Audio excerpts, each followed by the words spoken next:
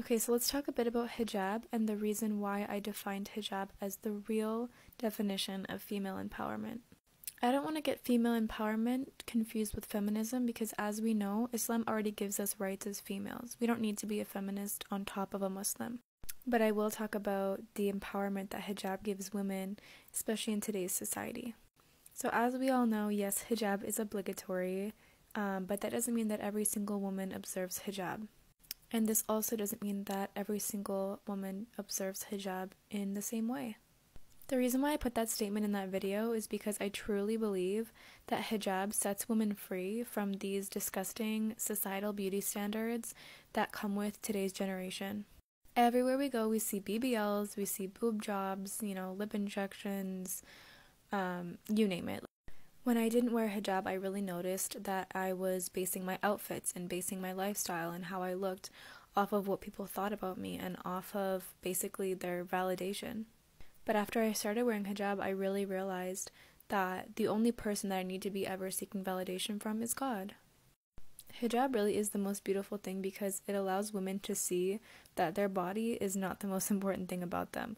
Your mind and your heart and what you do and how good of a person you are is what matters at the end of the day. And I love that when people look at me, they're not looking at my hair, they're not looking at my body. They're talking to me because of what's inside. They want to know information. They want to get closer to me. They want to be my friend. I find it funny when modern day feminists use the word freedom when it comes to showing your body off and allowing people to see your naked body. As we know, in today's society, it's a big thing. I just find it a little bit ironic because isn't society pushing you to do that? Like it's it's everywhere. It's all over billboards, it's on magazines, it's on TikTok, Instagram, Facebook. Everywhere we go, people will only see you for sexy. They will only see you for gorgeous and hot if you show your body. So how is that freedom?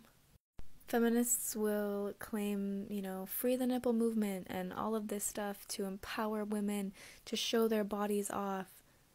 But then as soon as it comes to a hijabi, they don't care. They immediately think that we're oppressed.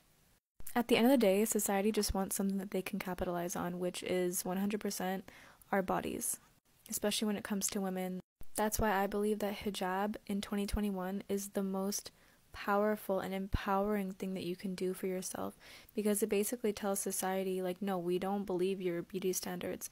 We don't agree with this and we're not going to show our bodies to you. I could talk about this all day so let me know if you want to keep talking about this. I have so much more to say